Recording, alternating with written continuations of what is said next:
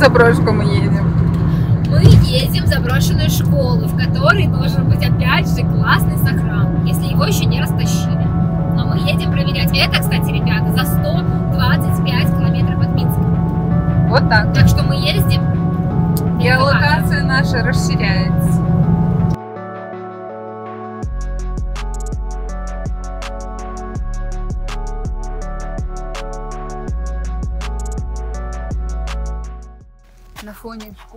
Вот, ребята, сейчас Надеемся, что она... будем искать залаз, как обычно.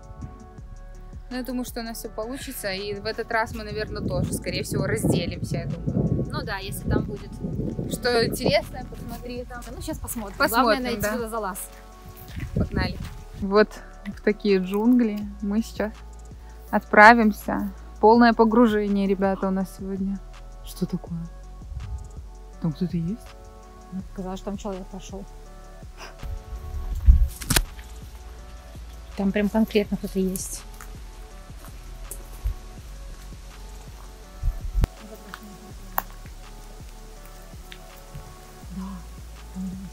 Может, подождем? Ну, пошли лучше подойдем, разведаем ситуацию. Ну, давай. В любом случае. Ну там конкретно, как будто может какая-то молодежь.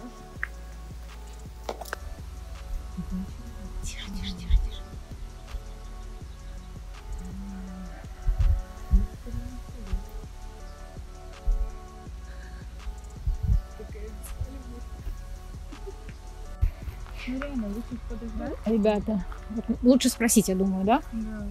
В таком случае.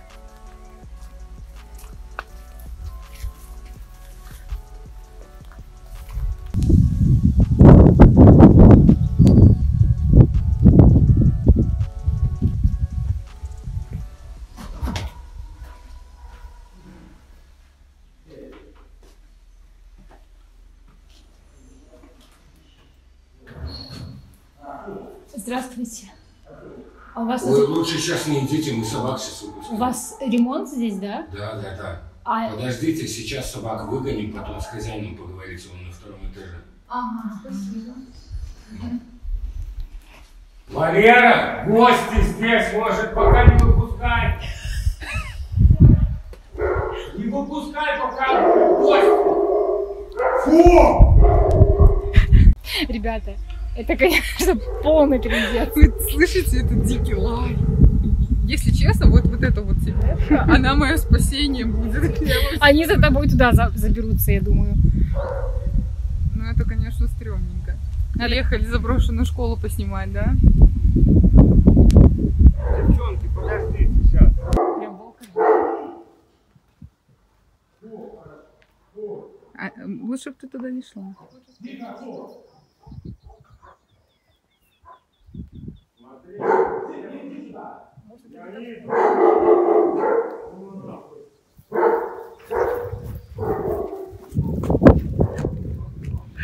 Реально такой стрём. Здравствуйте. А у вас выку- вы выкупили эту школу, да? Да. А, просто мы, мы тут мы снимаем белорусские заброшенные места, мы блогеры. Да. И нам, нас, нам порекомендовали вашу школу, что здесь Да. какие-то жабы замаринованные, Нет, жабы тут законсервированы. нету.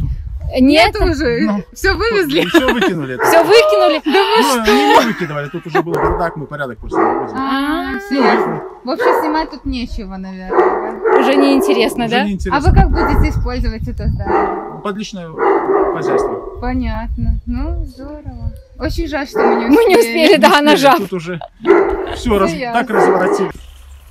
А тут, видишь, был парадный вход, и как взрослый. Да, школа давно заброшена. Все пробирки повыкидывали, блин, конечно. Очень печально. Да. Подойти хотя бы посмотреть в окошко. Мы сказали тоже все повыбрасывать.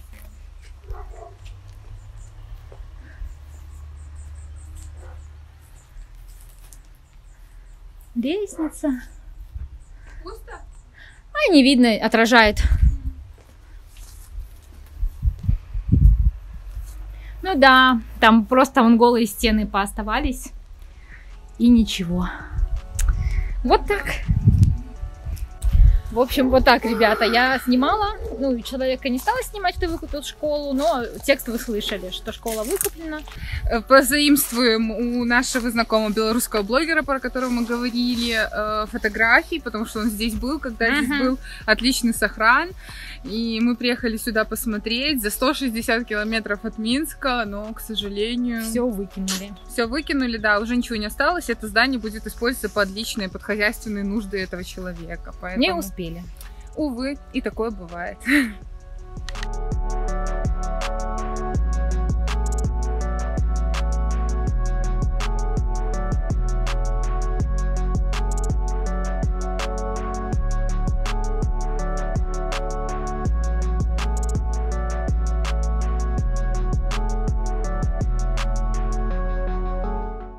Мы не отчаиваемся, не отчаиваемся. У нас сегодня еще как минимум одно видео. В планах, да, в планах, да.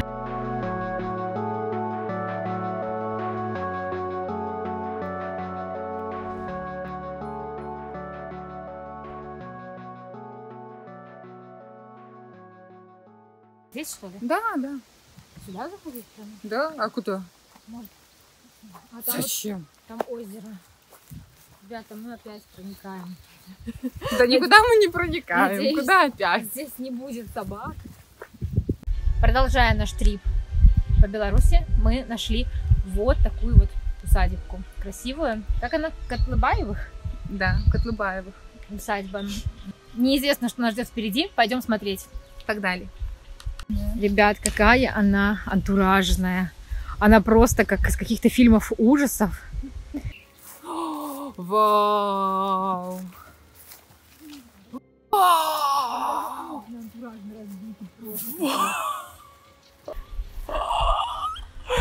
Я в шоке! Друзья, это, это нечто просто. Я это зрелище. Обалденная какая! Усадьба Котлубаев в деревне Ястрембель. Имение Ястрембель, известное с начала XVI века, в 1851 году покупается у Антония Рдутловского, роду которого имение принадлежало с 1663 года, счетоводом Радивиловской комиссии Михаилом Котлубаевым. Михаил был представителем шахетского рода, уходящий своими корнями к татарским предкам. После Михаила владельцами усадьбы стали его сыновья Генрих и Эдвард. О Генрихе информации сохранилось немного, а вот Эдвард был человеком образованным и достаточно знатным. Он закончил военно-инженерную академию в столице Российской империи, служил в Киеве. Вернувшись на родину, Эдвард увлекся историей. Он изучал историю знаменитого и могущественного рода Радивилов, которым служил его отец. Выпустил книгу «Несвежская галерея радивиловских портретов». Во второй половине XIX века два брата начинают возводить свой усадебный комплекс. Усадебный дом, парк, винокурню, флигели, хозпостройки, строительство усадебного дома закончилось только в 1897 году, когда вся усадьба принадлежала уже сыну Эдварда. Последним владельцем усадьбы в Ястребеле был Зигмунд Колумбай. Зигмунда постигла страшная участь. В 1939 году сюда пришла Красная Армия, национализировала его имущество, а его самого уничтожили в тюрьме. Дворец Котлубаев Ястребеле строился в неоклассическом архитектурном стиле. Есть сведения, что идеи готовил сам Эдвард Котлубай. Внутри здания находилось 18 прекрасно оформленных комнат. Стены были богато украшены лепниной и фресками с античным сюжетом. Полы были покрыты дорогим паркетом. Все это варварски уничтожено с приходом советской власти. Известно, что большевики уничтожили все внутреннее убранство усадебного дома. Лепнину, фрески, иконы. Снесли все перегородки. Вместо 18 великолепных комнат стал один большой сарай. В 1972 по 1990 годы здесь располагалась школа-интернат. С 1990 года был проведен ремонт крыши, восстановлены окна. Были проекты по восстановлению здания силами местной власти, однако в 2014 году здание продано гражданину России с условием восстановления. Однако до сих пор усадьба находится хоть и не в руинах, но в плачевном состоянии. Да. Когда видишь такие места, у тебя прямо какие-то мурашки пробегают. Что? Типа сказочные, типа знаешь, как э, Рапунцель, Ага, да? сказочный Или какой-то домик. Вот Ну, смотри, как окна даже разбиты на втором, на третьем этаже. Видишь, в башенке Да. этими такими. В общем, ребята, я думаю, что хрен мы туда приберемся, конечно. Но мы проверим. Проведу бесплатную экскурсию, кстати. Вон есть номер телефона. Но какая она обалденная. Просто нереально. Она очень антуражная. Э, В прошлом столетии, э, когда пришли советы к власти, эту усадьбу сделали домом-интернатом. Вот. Поэтому очень долго она выполняла эту функцию. Я представляю, какие впечатления были у детей.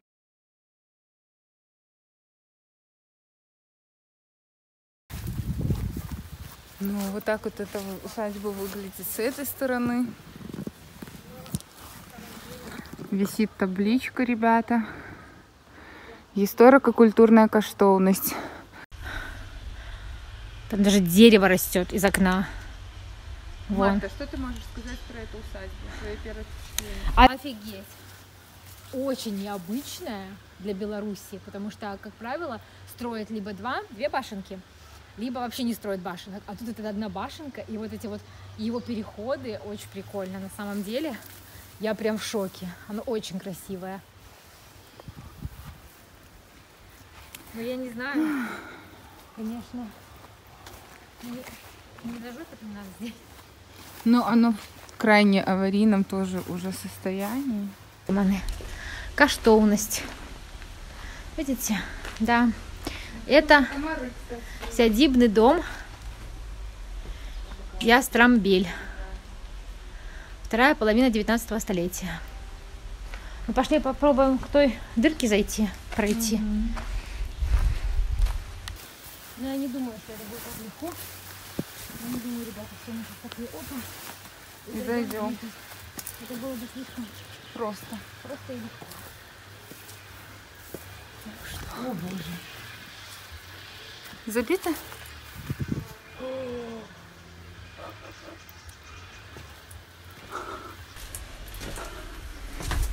Ну тут, ребята...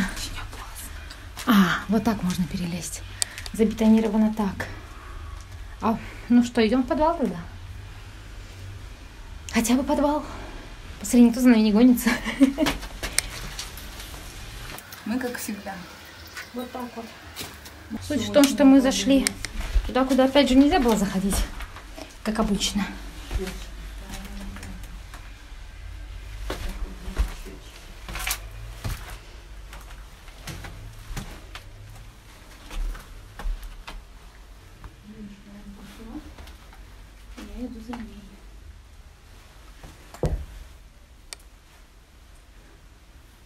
Жесть здесь, конечно. Просто жесть. Холодно. Здесь никого нет?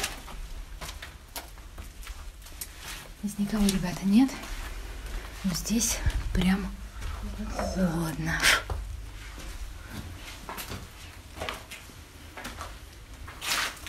Интересная, конечно, плитка. Ну, в любом случае в таких усадьбах нету какого-то сохрана.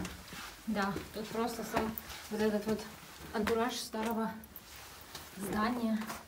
Там как будто еще ход. Да, на самом деле, сегодня не удивлюсь, если к нам кто-нибудь придет. Здесь был склад, как будто винный погреб, знаешь, под, под эти под ботики. Ребята, если вы что-то странное заметите, то, что мы не заметили, обязательно нам об этом скажите. Пройти туда.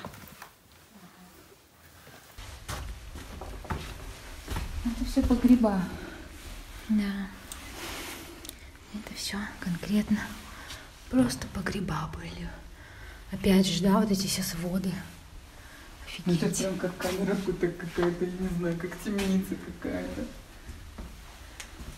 Какие-то матрасы вон лежат. Там еще проход дальше. Ребята, еще дальше туда проход. Тупик. Там ничего нет? Там тупик. Тупик. Ну, здесь интересно. Как видно. Интересно, что здесь проводили электричество. Ну так 20 столетие, конечно.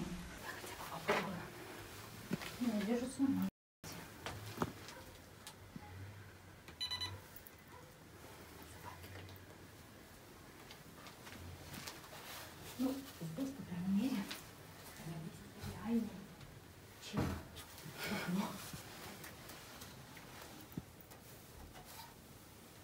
Они, конечно, такие интересные ребята. Забетонировали здесь. А, здесь были доски. Мы их просто сняли. Так. Офигеть, ребят. Мы должны здесь вести себя очень тихо, хотя, с другой стороны, сейчас день. И, по сути, как это так залазит? Очень много вокруг звуков. Просто все разрушено. На самом деле меня радует, что у нас нет строгого закона за проникновение в частную собственность. Держи. Офигеть, тут надо свет. Мы будем палиться со светом. Вроде все спокойно.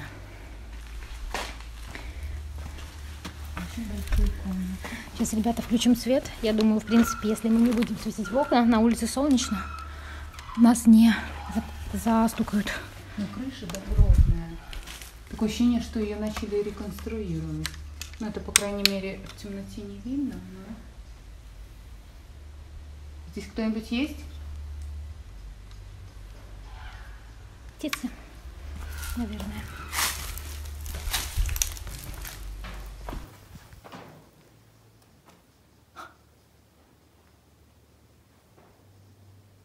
Здесь везде какой-то шум. Усадьба живет своей жизнью, ребята. Офигеть, хранилась плитка. Ребята, извините за качество видео. Мы не будем сильно палиться со светом. Если только будет что-то интересное.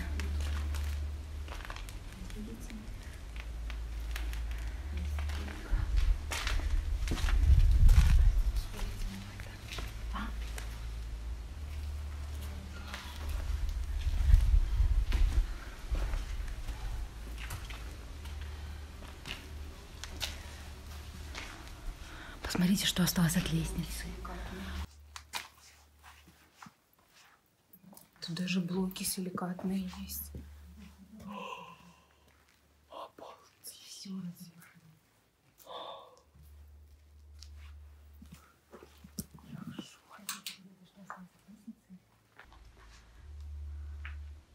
Она была такая красивая, да. Да просто капец. Здесь очень опасно находиться. Не повторяется за нами. О, кстати, лестница. Еще в один подвал. Это не та, которую мы видели. Мы там не видели лестницы. Сейчас спустимся в этот. Мне кажется, вот это вот туда вот будет сейчас, где пола нет, выход. Может, видишь? Вот сюда. Где провалился ход. А, скорее всего, да. Офигеть, ребята. Посмотрите, сейчас я включим свет. Просто. Это просто офигеть. Вот так вот. Такие вот ценности. Ну. Да. Никого мы здесь вызывать не будем, ребята, потому что здесь нету ничего мистического. История здесь И никакой страшной не было. Просто эта усадьба очень красивая раньше была. И сейчас она находится вот в таком состоянии. Я смотрю, я снимаю.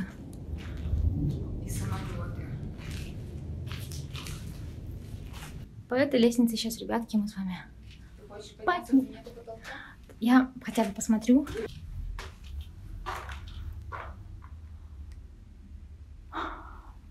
Кругленькое окошко, кстати, целое, ребят. Я сейчас тебя снизу увижу. Ты, ну, ты не поднимайся, не становись на пол, стой на лестнице. Потому что здесь Я бы пошла дальше.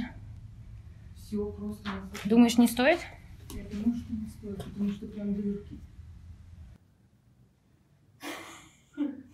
Ребят, мы хотели вам рассказать о том, что мы присоединились к платформе Boosty. Я думаю, многие о ней слышали от более крупных э, блогеров.